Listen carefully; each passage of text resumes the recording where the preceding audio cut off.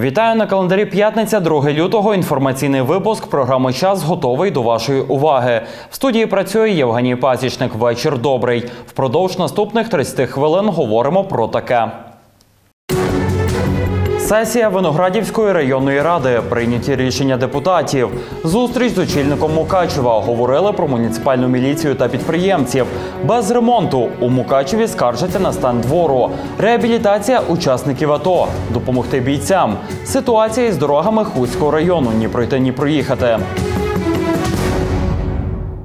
Заробітки за кордоном стало відомо, куди найчастіше виїжджають українці. В 2017 році більше всього українців працювало в Польщі, Росії, Італії та Чехії. Про це повідомляється в інфляційному звіті Національного банку України. Також міграція до Росії за 10 років зменшилася майже вдвічі, зокрема через складні міждержавні відносини. Серед трудових мігрантів переважають чоловіки 70%. Середньомісячний заробіток одного трудового мігранта становив 722 долари а зарплата одного штатного працівника, зайнятого в економіці України в 2016 році 200 доларів. Повідомили у відомстві. Держслужба з надзвичайних ситуацій класифікувала грудневий паводок на Закарпатті як надзвичайну ситуацію регіонального рівня. Нагадаю, що 15-17 грудня внаслідок паводка в області постраждало 14 територіально-адміністративних одиниць. Загальний обсяг збитків від негоди перевищив 86 мільйонів гривень. Висновок ДСНС буде направлено до Мінрегіонбуду, який підготує свій експертний висновок. Після чого Мінекономіки готуватиме розпорядження Кабміну про виділення Закарпаттю коштів. Бюджет Виноградівщини 2018 нарешті ухвалили на позачерговій 20-й сесії районної ради. Нарешті депутатам вдалося дійти згоди, аби затвердити головний фінансовий план району на рік. Про це та інші питання порядку денного засідання у сюжеті Ірини Ковальчук. Затвердили порядок денний, регламент роботи. Так стартувала позачергова 20-та сесія Виноградівської районної ради сьомого скликання, легітимність якої засвідчили 31 з 36 депутатів. Серед депутатських звернень, які заслухали на засіданні, зменшення заробітної плати освітян. Стимулююча виплата за престижність, вона є стимулююча не обов'язково. Вона випала з нового року як обов'язково. Звіт очільника управління освіти, молоді та спорту депутати не заслухали. За відсутності доповідача питання перенесли на наступне засідання. Тоді перейшли до головного затвердження бюджету району на 2018 рік. Доповідь по бюджету я вже говорити не буду, тому що всі, напевно, п'ять разів слухали. Тільки поясню у вас на руках зараз то, той проєкт рішення, який подала адміністрація із поправками, які проголосувала освітня і медична комісія, і ще додаткові пропозиції від адміністрації. Із поточних видатків відділу освіти на капітальні направити 300 тисяч. Із капітальних видатків Центру первинної допомоги 25 тисяч направити на завершення будівництва Божарського дитячого садка 25 тисяч, на програму пільгового зв'язку 80 тисяч за рахунок до фінансової підтримки дитячого будинку Святої Терези. Вчора бюджетна комісія прийняла ще додаткові зміни, які зараз озвучать. Голова райради зауважив, що напередодні сесії бюджетна комісія засідала протягом п'яти годин, аби дійти згоди. Попри це, один із депутатів Степан Гал запропонував 2 мільйони гривень перенаправити спортшкіл, їх в районі 4, на медикаменти. Позберемо їх ну закриємо дитячі юнацькі спортивні школи. А моя особиста і суб'єктивна думка, що Спорт для дітей і медицина це речі взаємопов'язані. Якщо ми сьогодні не виховуємо здорову дитину, то завтра ми будемо виділяти кошти на медикаменти. Ну тут треба знайти консенсус. Цю пропозицію більшість не підтримала. І нарешті, з п'ятої спроби, головний фінансовий план Виноградівщини депутати таки прийняли. Далі перейшли до затвердження та внесення змін до програм розвитку району та інших питань порядку денного, але без голови райради та РДА, які покинули зал засідань. Аби з'ясувати, чому бюджет району 2018 прийняли аж у лютому, звернулися до голови РДА. Але чиновник навіть не вийшов до журналістів. Передав через секретаря, що коментувати не буде. А голову районної ради знімальна група так і не дочекалася. Він покинув сесію ще до кінця засідання. Війна в Мукачеві між підприємцями та муніципальною міліцією не вщухає, що стало приводом чергового засідання в залі міської ратуші. Цього разу обурена неправомірними діями муніципалів громадськість зустрілася з мером з вимогою ліквідувати структуру ММКП Муніципальна міліція та організувати нову, яка б контролювала виключно благоустрій міста. Як пройшло засідання та чим завершилося, дізнавайтеся з сюжету моїх колег. Рік роботи муніципальної міліції 9 мільйонів гривень надходжень до бюджету. Саме так звучить заголовок нещодавно розміщеної статті на сайті Мукачівської міської ради. Ця інформація обурила громадськість, що стало приводом зустрічі представників ГО Єдність краю з мером міста в залі Мукачівської міської ратуші. Пан Роман сказав, що більше 9 мільйонів надходження в бюджет. Дуже велику користь для міста зробило. Тобто від людей забрали кошти на існування, забрали там від підприємців їхні обігові кошти і так далі. Значить, е, і по цій причині ми підготовили запит, що, е, що ви нам пояснили, звідки ці взялися 9 мільйонів, дали конкретні факти. Чи то не зрозумівши питання, чи то намагаючись уникнути відповіді, начальник вирішив розпочати іншу тему. Ви два роки там не проживаєте, займаєте площу, яка мала належати якомусь учню із села. Це- і це на ваша- це відповідь, ваша чого вас відповідь. нема, на відповідь це є пояснення. Це не повага до нашого запитання. Яка не повага. Ви Та назвали ви не по суті Мукачева. говорите. Ви А ви говорите неправду. І взагалі ви знаходитесь в АТО зараз. Ви дали пояснення, а? У нас є, у нас є пояснення. Це не без цього. Давайте Ну, по все. суті. Добре. По суті задано питання. За... Шановні, шановні мешканці Ну, я хочу знати, я маю відповідати. АТО. Громадськість вимагала правди. Пане мер, я відповіді не почув, категорично можу сказати, що це наїзд. Давайте по суті роботи, давайте персональні відносини, хто кого де. Шановні присутні, я дякую, що ви прийшли, проявили, як кажуть, свою громадську сознательність. Е, Я хочу доповісти вам, за, за, ці, е, за цей час, з якого, з якого я очолюю цей колектив, комунальне підприємство, е, було, було дуже проведено багато роботи. А от питання, яка саме робота принесла 9 мільйонів прибутку, і далі продовжувало висіти в повітрі. Вам питання задали, де, де російські, на підставі яких коштів ви поповнили бюджет на 9 мільйонів.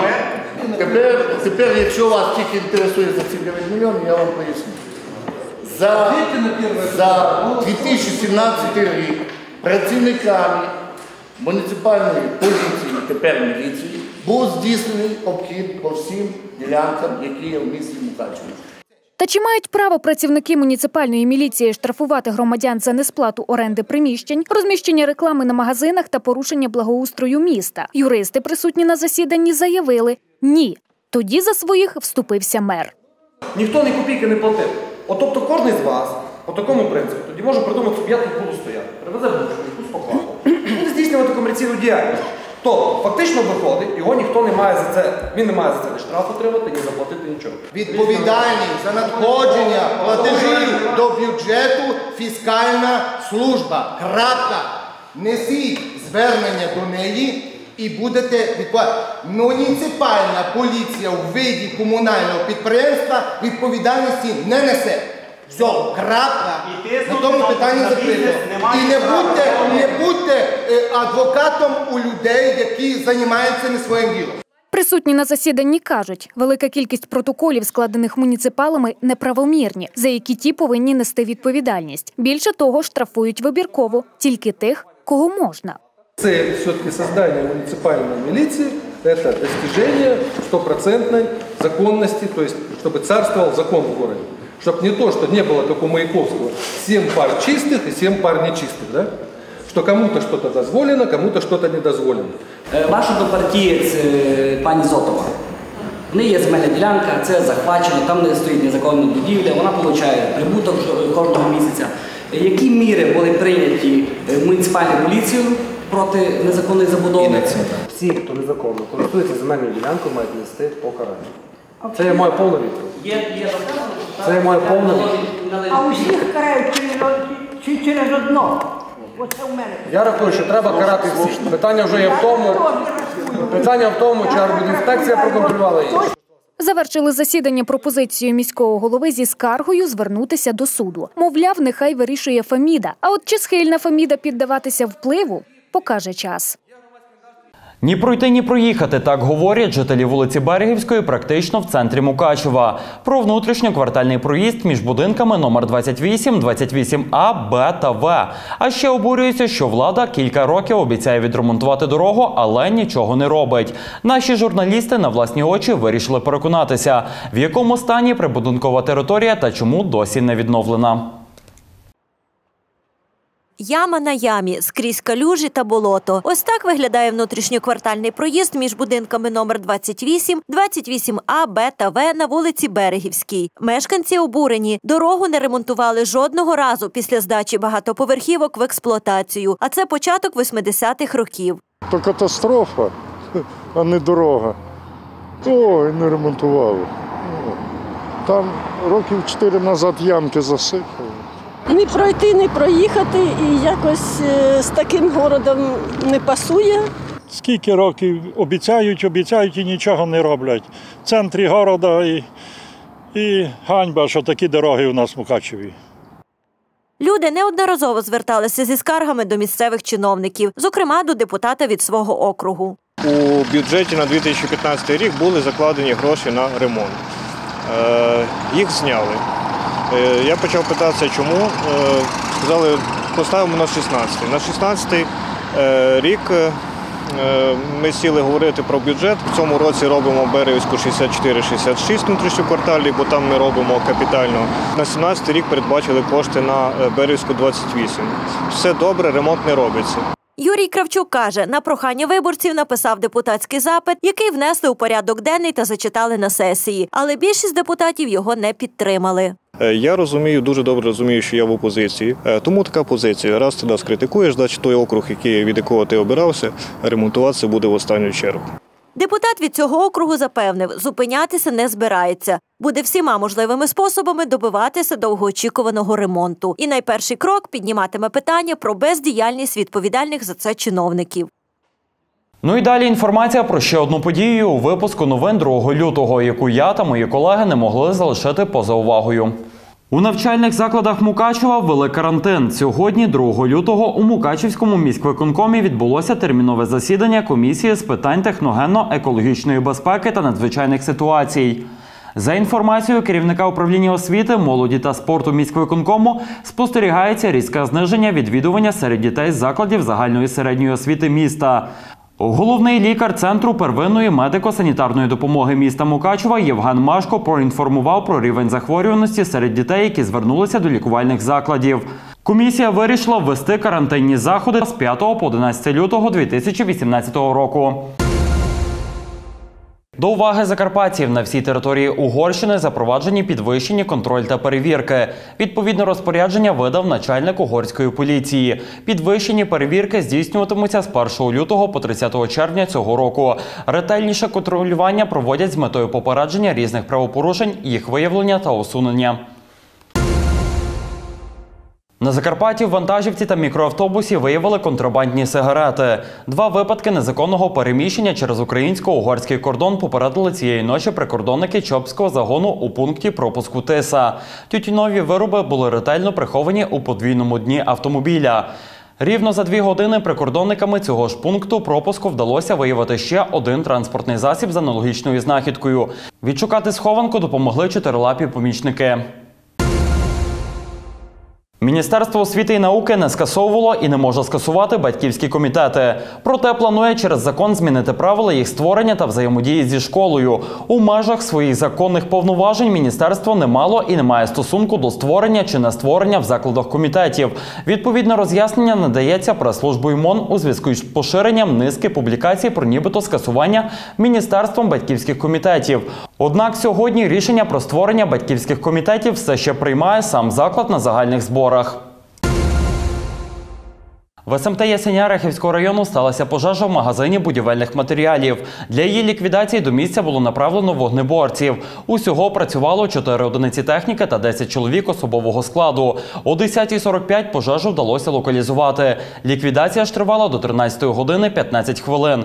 Вогонь повністю знищив перекриття та покриття на площі 320 метрів квадратних, а також майно, що знаходилося в магазині. Причину пожежі та завдану матеріальну шкоду наразі з'ясовують правоохоронці зустрічі.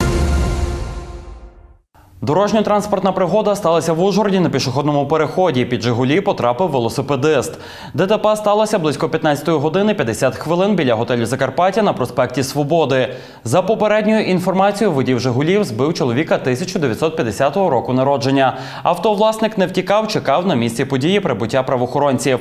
Попередньо у потерпілого було діагностовано черепно-мозкову травму. Чоловіка забрала карета швидкої медичної допомоги. Слідство наразі триває.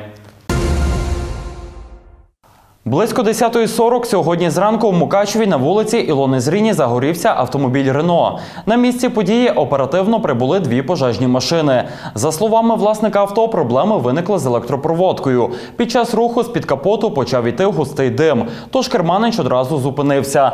Йому на допомогу прийшли інші водії. Автовласник каже, що транспортний засіб фактично з ремонту, тому дивується, що проблеми з автомобілем виникли майже одразу. Деталі наразі з'ясовуються. На Закарпатті стартує спільний українсько-норвезький проект, який в Україні триває 10 років. Він полягає у передпідготовці демобілізованих військовослужбовців усіх силових структур, членів їх родини та чинні військові. Таким чином, військовослужбовці можуть освоїти сфери туризму та готельно-ресторанного бізнесу, після чого тримають у руках диплом двох зразків норвезького та українського. Більше розкажуть мої колеги.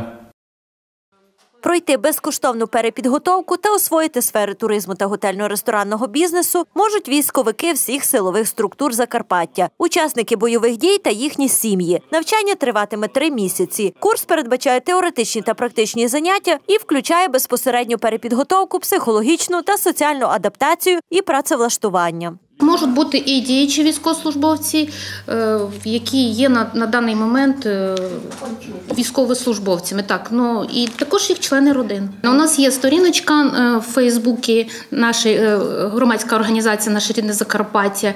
Також є. Там указані телефони, і де можна звернутися до координатора проєкту, який проведе співбесіду і визначить, чи дійсно чоловік може бути учасником проєкту. Заявки для участі вже подали 15 охочих. Серед них і Василь Братасюк, батько якого воював на сході. Тож він також може взяти участь у цій програмі. Зараз хлопець студент УЖНУ, навчається на другому курсі філологічного факультету та планує дізнатися багато нового і цікавого з іншої сфери. отримати якийсь новий досвід, мати згодом е, більше можливостей для певного руху в житті. Є тренером зі сквошу, працюю барістою. Курси будуть проводити викладачі УЖНУ. Серед дисциплін навички гендмейду, цикл економічних, соціальних та психологічних занять, освоєння професійної термінології. А щоб вивчити потенціал кожного курсанта, буде проведено анкетування. Відповідно від ресурсів, які є у безпосередньо е, курсантів, а для цього ми проведемо попереднє анкетування, щоб дізнатися, яким ресурсом вони не тільки е, психологічним чи соціальним, а ще і фінансовим або економічним володіють. Ну, наприклад, когось будиночок, який не експлуатується, або земельна ділянка, з якою він не знає, що робити. Тобто ці нюанси по розвитку е, безпосередньо самого продукту. Одна з умов участі за півроку після курсів учасник має створити бізнес-проект чи працевлаштуватися. Щодо останнього сумлінні курсанти можуть не хвилюватися. Туризму наразі бракує фахових кадрів. Також після навчання учасник отримає відповідний диплом: один від Норвезького університету, партнера проекту, а другий від УЖНУ. Учасники вже можуть подавати заявки. Навчання стартує з 26 лютого і триватиме до кінця травня. 11 тисяч звернень подали закарпатці до бюро з надання безоплатної вторинної правової допомоги минулого року. Найчастіше звертаються з питань соціального забезпечення, спадкового, земельного, сімейного та житлового права. Торік в області діяли з чотири десятка дистанційних пунктів доступу до правової допомоги. Фахівці здійснили майже півтисячі виїздів мобільних консультаційних пунктів по області. Про це під час брифінгу в прес-центрі Закарпатської ОДА повідомив директор регіонального центру з надання безоплатної вторинної правової допомоги в області Василь Попадинець. І до теми доріг мої колеги поїздили Хуським районом і побачили, якими шляхами доводиться щодня пересуватися водіям у Липчі. Численні скарги результату не дали абсолютно ніякого. Їздила цими дорогами і моя колега Вікторія Василинець. Тож вже готова розповісти вам все у подробицях в наступному сюжеті. Прямісінько на в'їзді в Липчу на нас вже чекало суцільне бездоріжжя. По залишках асфальтованої дороги неможливо проїхати неушкодженим, адже хочеш не хочеш в ями доведеться потрапити. Їх тут стільки, що автошлях більше схожий на решето. А попереду річковий транспортний міст. Про його стан без коментарів.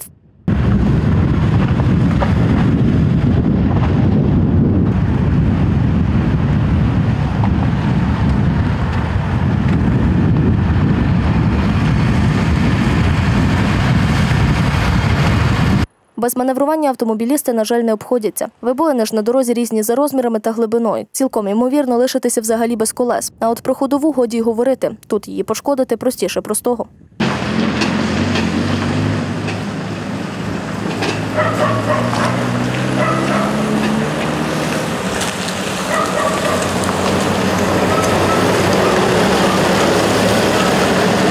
Рухаємося далі, і ми практично в центрі села. Вже зовсім недалеко і сільрада. Однак стан дороги мало чим відрізняється і так аж до Липецької поляни, де по суті на водіїв також чекає яма на ямі. Дорога, що вже сполучає Липчу з Липовцем, не краща.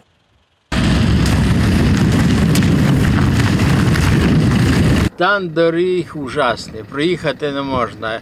5 кілометрів треба годину їхати. Машина добивається, колеса рвуться. Я сам лікарем працюю, мені треба їздити по роботі, не то що гуляти, по роботі. Неможливо, неможливо. Село проїхати не можна. Тут бачите, що це робить. Років 5 вже тут ніякого ремонту не робилось. Абсолютно ніякого. Зустріли тут і рейсовий автобус, що їхав з хуста зі сторони Липчі до Липовця. Перевізник не стримував емоцій. За дорогу не можу, пішло сказати. Не такі дороги. Власне, громадські активісти, а це здебільшого обурені станом доріг водії, навіть планували перекрити дорогу на цьому тижні, бо їм увірвався терпець чекати на ремонт. Однак протесту поки не відбулося. У районній раді про дорожню проблему знають. Всі дороги у Хуському районі, е, які безпосередньо ведуть від центральних магістралей, вони є у страшно поганому стані. І хотілося б, щоб оцей стан, хоча б е, в 2018 році, почав покращуватись. Хотілося б вірити в те, що відповідно до розподілу коштів з дорожнього фонду, по яким приблизно е, Хуський район отримає біля 200 мільйонів гривнів, трошки більше, здається, 218 мільйонів гривнів, що оці е, кошти забезпечать е, покращення стану всіх автомобільних доріг.